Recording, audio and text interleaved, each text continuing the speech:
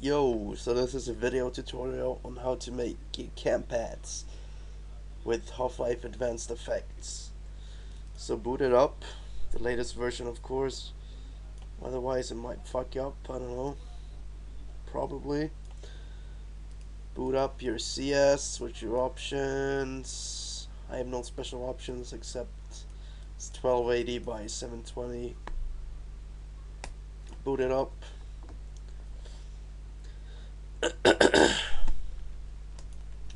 On your console, do uh, HUD draw 0, CL observer crosshair 0, and uh, DEM force HLTV 1. Load up your demo. Pause it. Go push space until you're in your free look. You can't move right now as you can see, but go one frame forward and you can move. So uh, find your player. They're gonna be here. There they are. You can't see them now, but if you go one frame forward, you can see them. But yeah, so go in events, add, cam path.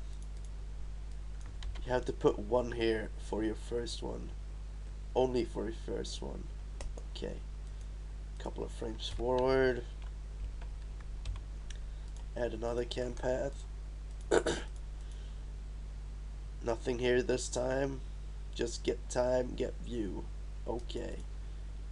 Forward again. Here maybe. Okay. Forward again gonna end up maybe down here somewhere. Could probably be pretty cool.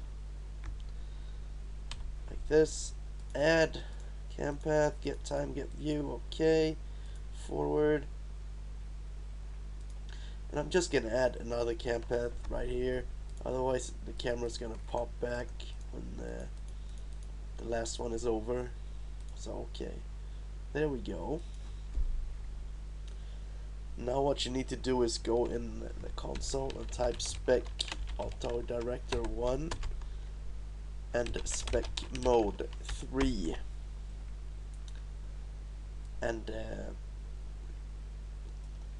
obviously you probably know how to export the video but I have binds for this.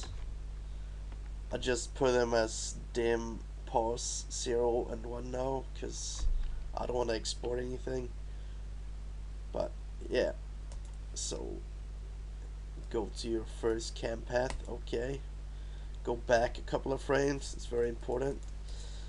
And then put the console down and push your key minus F2 so F2